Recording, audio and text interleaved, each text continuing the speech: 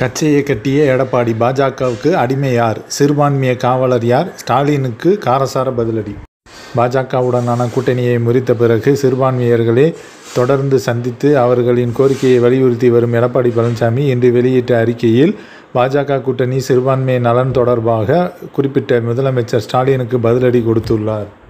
இது குறித்து அவர் வெளியிட்டுள்ள அறிக்கையில் பாஜகவிடம் தமிழ்நாட்டின் உரிமைகளை அனைத்திந்திய அண்ணா திராவிட முன்னேற்ற கழகம் அடகு வைத்துள்ளதாக பேசியுள்ளார்.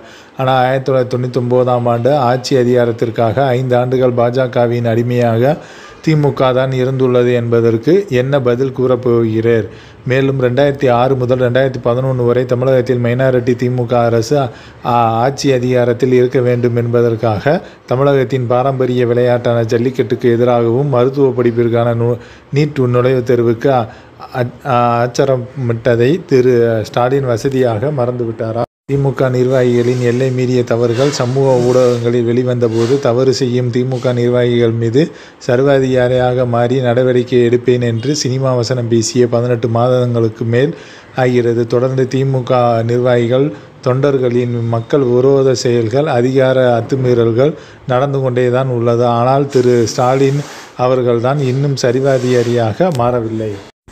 மகளிர் இருசக இருசக்கர வாகன மானிய திட்டம் தாலிக்கு தங்கம் திட்டம் போன்ற மக்கள் நலத்திட்டங்களுக்கு மூடுவிழா செய்துவிட்டு அநீதியை கொண்டு கொண்டு மக மகளிர் உரிமை தொகை வழங்கியுள்ளார்.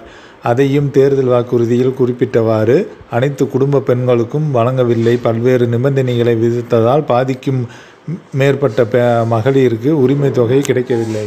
சிறுபான்மையினரின் நலன் பற்றி புரட்சித் தலைவர் எம்ஜிஆர் புரட்சி தலைவி அம்மா ஆகிய இருவரும் தலைவர்களின் வழிகாட்டுதலின்படி தான் அனைத்திந்திய அண்ணா திராவிட முன்னேற்றக் கழகம் நடந்து வந்துள்ளது. ரெண்டாயிரத்தி பத்தொம்போதாம் ஆண்டு நாடாளுமன்ற தேர்தல் அறிக்கையில் சிறுபான்மையினரின் நலன் பற்றி நாங்கள் கூறிய வாக்குறுதியின்படி தான் இன்றும் நாங்கள் நட நடைபெறுகின்றோம். அதில் திடமாய் இருக்கின்றோம். அதைத்தான் இப்போதும் உறுதிப்படுத்தி உள்ளோம்.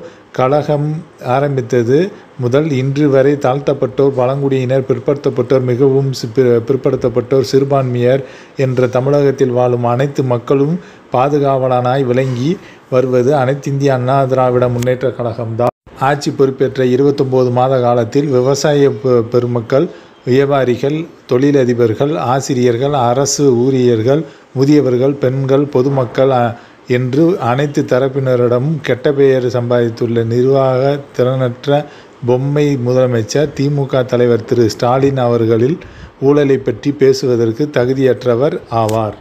திரு. ஸ்டாலின் அவர்களது குடும்ப ஊழல் பெருமையை பற்றி அப்போதைய நிதியமைச்சர் பேசிய ஒளிநாடா சமூக ஊடகங்களில் வெளிவந்ததை வசதியாக மறந்துவிட்டனர்.